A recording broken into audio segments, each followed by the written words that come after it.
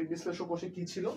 যে একটা পাত্র অ্যানোড ক্যাথোড কিন্তু আমরা একটা বাহ্যিক কাজ করব মানে ব্যাটারি কানেক্ট করে দেবো।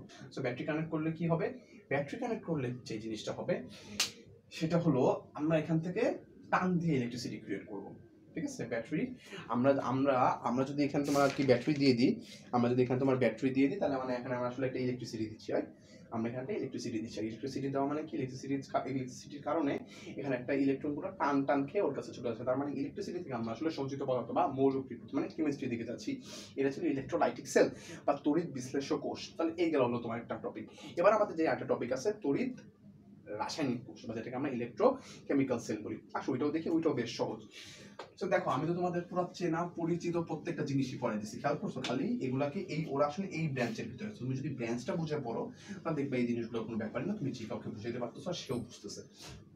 তো আসো, আমরা এখন যে জিনিসটা পড়ব, সেটা হলো তোমার ইলেকট্রোকেমিক্যাল সেল বা যেটাকে আমরা বলি হচ্ছে হাতর করে তড়িৎ রাসায়নিক কোষ।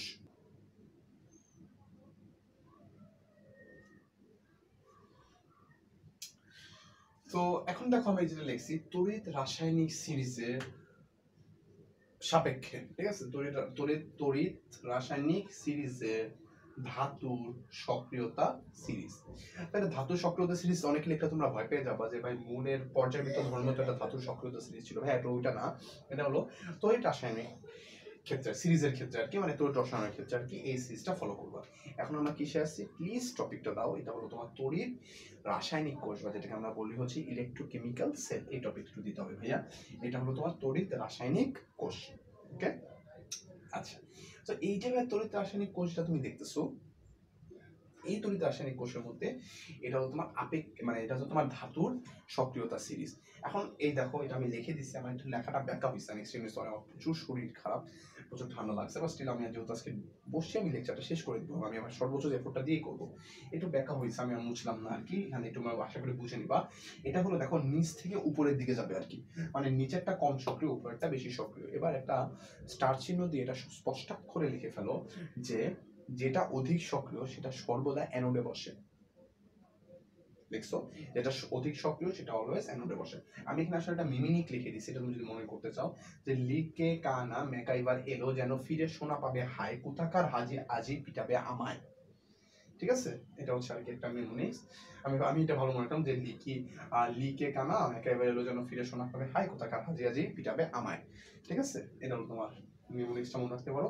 এখান থেকে যেটা বেশি সক্রিয়, সেটা অবশ্যই অ্যানোডে বসাও। এই জিনিসটাকে মাথার মধ্যে তোমরা ঢুকায় নাও।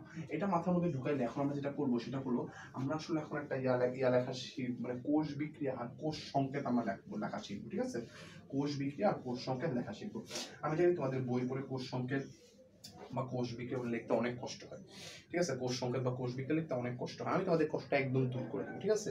আমরা একদম মানে কি বলে এটাকে গ্যালভানিক কোষের কনসেপ্টটা নিয়ে চিন্তা করি, দেখো? দেখছ? একদম সহজটা যে এখানে আসলে আমরা একটা জিঙ্কে আর এখানে একটা কপারেরটা ইউজ করি, ঠিক আছে? কথা কথা জিঙ্ক আর কপার তাহলে চিন্তা করো অ্যানোডে কি হবে ভাইয়া? অ্যানোডে তোমার হবে হচ্ছে জিঙ্ক অ্যানোডে কি হয়? ইলেকট্রনের ছাড়ন মানে অ্যানোড থেকে তোমার ইলেকট্রন চলে যাবে। জিঙ্ক টু প্লাস হবে। মানে কয়টা ইলেকট্রন গেছে বলো তো?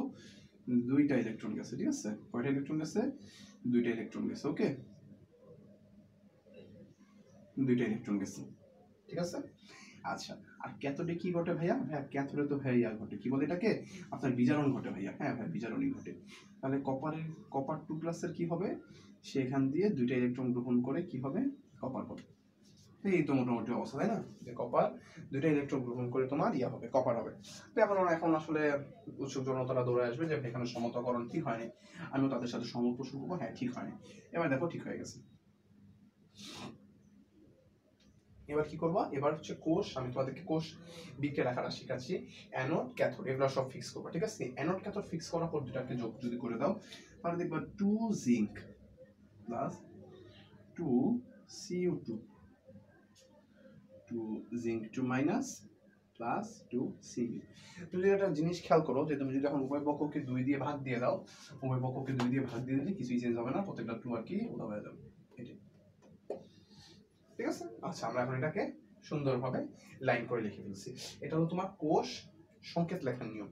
সরি কোষ বিক্রিয়া লেখার নিয়ম। এটা তুমি নাইন টেন থেকে জানি। কোষ সংকেত থেকে আমি লিখব ভাইয়া সেটা বলেন। আচ্ছা সেটা বলি, দেখো। কোষ সংকেত কঠিন কিচ্ছু না। যা আছে হুবহু তাই লিখবা।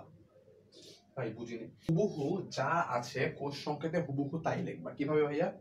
এই যে জিঙ্ক কোথায় ছিল অ্যানোডে এই চিহ্ন দ্বারা বোঝায় তার বামে অ্যানোড ডানে ক্যাথোড ক্যাথোডে কত? জিঙ্ক টু প্লাস যেহেতু আমরা এখানে একটা লবণ সেতু ইউজ করছি এই জন্য আমরা এখানে দুইটা দাগ দিব। দুইটা দাগ মানে বোঝায় হইতেছে অ্যানোড আর ক্যাথোড আমি ক্যাথোডটা লিখে ফেলি। ক্যাথোডের ক্ষেত্রে দেখবা এগুলো মোটামুটি অবস্থা। এই স্ল্যাশটার বামে সিও টু প্লাস তার মানে কি এটা ক্যাথোডে যখন তোমার এটা বিক্রিয়কে ছিল, তখন এটা সিও টু প্লাস ছিল বাট যখন এটা ক্যাথোডে উৎপাদে গেছে, তখন তোমার এটা কি তৈরি হয়েছে? সিইউ এটা আসলে এটাই বোঝায়।